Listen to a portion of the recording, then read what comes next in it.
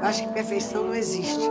Eu acho que ele está maravilhoso, com o Tarek Souza. Ele tá bom, tá maravilhoso, mas perfeição não existe. Glória pros meus.